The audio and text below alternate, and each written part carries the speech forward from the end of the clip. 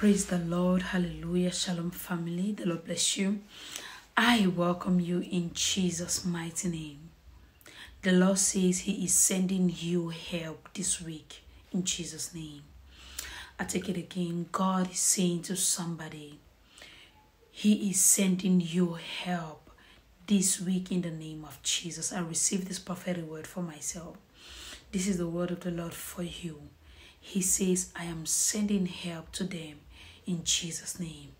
Amen. Hallelujah. Glory to God. I want you to receive this word with gladness and I want you to to to to, to ponder on this word. I want you to to receive it with all your might because it's going to happen for you. The Bible says if you must believe in God, you must believe that He can give you every other thing, can give you all things.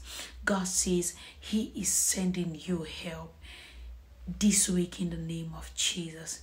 Amen. Hallelujah. Glory to God. If you're new, you're welcome. Thank you so much. And if you're old, thank you for always coming back. May God bless you in Jesus' name. Now may the Lord bless you and keep you. May God bless you. May God's countenance shine upon you. May God be gracious to you and may God give you peace. In Jesus' mighty name, the shalom of the Lord. May nothing be missing for you and may nothing be broken for you. You are blessed of God. In Jesus' mighty name. Amen.